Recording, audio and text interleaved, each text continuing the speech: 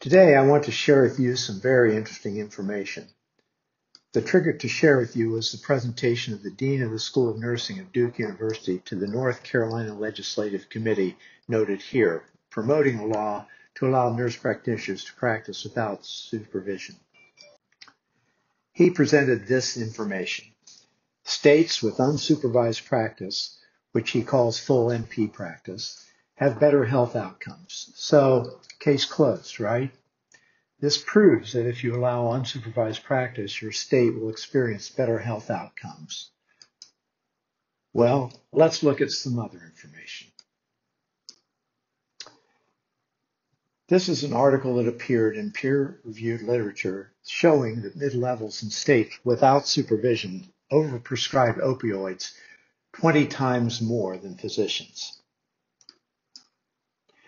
And from publicly available data, we see that drug overdose deaths are very closely related to the increase of NPs in the United States. The correlation coefficient is 0.98. Seldom do you see such tight correlation between variables. This seems to be convincing information. I've shown you that mid-levels overprescribe opioids and that that leads to increase in overdose deaths. It's compelling data. But I am purposely lying to you to make a point. I'm confessing to you right now so that you won't think I really believe this. But could it could the increase in NPs be responsible for the increase in opioid deaths? I can't say that it's not so. It is possible. However, the important point is that there are many, many variables impacting the drug overdose rate, and I've shown you only one. Similarly, Ramos data about health outcomes, there are many factors which affect health outcomes. Unsupervised practice plausibly could be one of them, but only could be. The other hundreds are unexamined. And he is not pointing out this misleading information to you. Let's look at some other phenomena that are caused by the increase of NPs in the US. Here is one that has a very strong relationship. You can see that as the number of NPs go up, this other variable goes up very predictably. What is this variable? It's sea level. It has a very high correlation coefficient again. And yet another. Again, as in, NPs increase, this other variable increases very predictably. What is this variable? It is death from strangulation by bed sheets. If we follow Ramos' fallacy, we might say that there is an epidemic of homicide by bed sheets committed by increasing numbers of NPs. Do you believe that?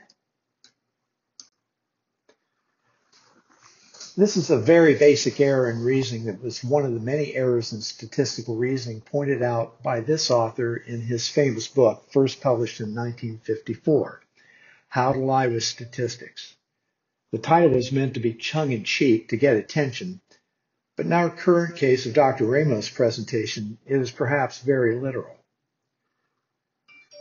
The general point is that correlation, a relationship, does not prove a causation. This was chapter 8 in the book. He illustrates the concept with this following example. There are two clocks which keep perfect time. When clock A points to the hour, clock B strikes. Did clock A cause clock B to strike? Also, the author says this. It is very concise and to the point, and I think it is well to read what he said directly. The fallacy is an ancient one that, however, has a powerful tendency to crop up in statistical material where it is disguised by a welter of impressive figures. It is one that says that if B follows A, then A has caused B. So this author in 1954 said it was an ancient fallacy. Dr. Ramos, as part of his coursework for his PhD, undoubtedly had to take statistics, and this was undoubtedly part of that course. Had he used this fallacy in his coursework, he would have been failed. It is certain that he knows of this, but he uses it anyway. the conclusion can only be that he is purposely misleading the legislators he was speaking to. How do you know when a speaker is trying to mislead you with this basic fallacy? First, any retrospective study has this as its fundamental flaw. Some retrospective studies can adequately control for the other hidden variables may also affect the result, but most do not. Then the use of the phrases is related to or is associated with are tip-offs. For example, I've also already shown you here that NPs in the United States are associated with an increase in overdose deaths, also associated with a rise in sea levels, and associated with increasing deaths from bed sheets. These statements are true. They are associated. The association statement encourages you to immediately assume they are caused by these things. Do not assume that. Ramos' presentation is rife with this type of misleading statement. Here's the one we've already looked at, which invites you to assume that full practice laws cause better health outcomes. Here is another correlation of workforce growth with unsupervised practice. Right now, I will point out another flaw. We assume that the data he is showing us is actually correct that he is correlating two things and that they are correct. In fact, there's another level of misleading present here. The data he presents says that the numbers of NPs grew more in states with unsupervised practice. I've investigated this myself and found that this is manifestly untrue. The workforce grew faster in states with supervised practice. I'm not going to show this data here because it's not precisely the point of this presentation. It would take some time to do. I just want to point out that there can be and are several levels of misleading going on here. This data, again, implies that full practice laws cause increase in the workforce. Then there is this. He says that unsupervised practice is associated with a higher supply of nurse practitioners in rural counties. Note the trigger word we've learned to look out for, associated with. Also note that this is one variable, unsupervised practice, compared to another variable, number of NPs per 100,000 patients in rural areas. There are innumerable other variables uncontrolled for. To name one, the number of NPs produced by schools in the states with unsupervised practice.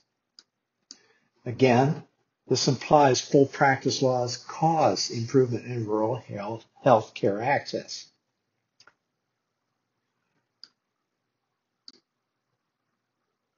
He also doesn't point out that the number of NPs produced everywhere in the U.S. is rising dramatically. Therefore, the number who happen to go to rural areas would increase as well. This is a rising tide lifts all ships situation. So let's look at the increase in the number of NPs throughout the U.S. You see that the number of NPs per 100,000 patients first is rising throughout the U.S. And second, that it is at all times higher than the number of NPs in rural areas. This means, of course, that most are going to non-rural areas, which directly refutes his contention. Now, as with the previous data, I will tell you that I have data that indicate that the number of NPs going to rural areas is not as he portrays it. But let's forget about that for now, and let's concentrate on his data presentation. So the number of NPs in the U.S. is going up everywhere in the U.S. Is the increase greatest, again, per his data, in unsupervised states or supervised states? Let's look at the increase in rural NPs in states with unrestricted practice, states with restricted practice, and all U.S. states. And let's compare the increase percentage-wise between 2009 and 2012, where we have the data. Here's the data. Which wins? The states with restricted practice increased 10% more than the states with unrestricted practice. And the states with restricted practice increased more than the average increase throughout the U.S., as shown by the increase in all U.S. states.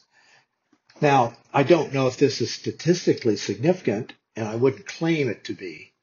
The point is the distortion of the data he is using.